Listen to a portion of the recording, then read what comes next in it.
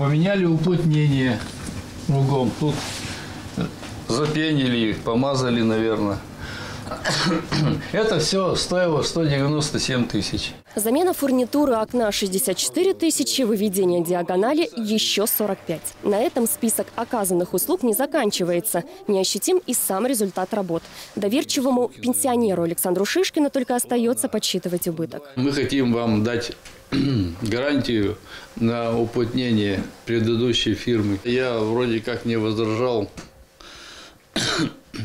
доверился. Александр Шишкин, мягко говоря, неприятную для него ситуацию вспоминает неохотно. Мужчина запустил в квартиру молодых людей, которые после диагностики двух стеклопакетов сообщили об их неисправности. В итоге сумму ремонта насчитали солидную – 327 тысяч рублей.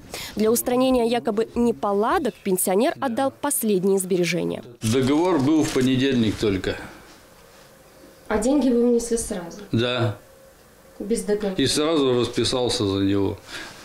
Считай, что на чистом листе. Позже пенсионер понял, что стал жертвой мошенников. Вернуть свои деньги он уже не надеется. Предприимчивые гости на связь не выходят. Дозвониться по указанному в договоре номеру телефона мы тоже так и не смогли. Вызываемый абонент сейчас не может ответить. Как оказалось, фирма, навязавшая псевдоуслуги пенсионеру, уже известна в Обществе защиты прав потребителей. Заявления на сомнительную частную компанию поступали и в администрацию Екатеринбурга. Чтобы обезопасить себя, юристы советуют не спешить спешить заключать договор с фирмами, чьи представители сами без приглашения приходят на дом. Договориться о цене, потребовать смету на работы, да, и когда будет документ, в котором будет уже явная адекватная цена, а, тогда его подписывать. Теперь по поводу адекватной цены, к сожалению, не все ориентируются в ценах.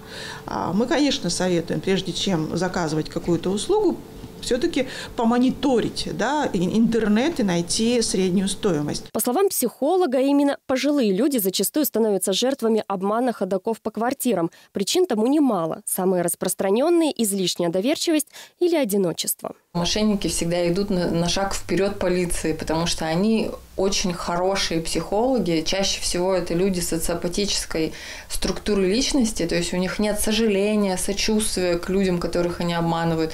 И они очень четко как бы чувствуют ваши потребности. За помощью Александр Шишкин обратился в региональное отделение Народного фронта. Вместе с общественниками он намерен добиваться справедливости в суде. Юлия Судковая, Евгений Лапидус, Александр Гамзяк и Кирилл Ростовский. События ОТВ.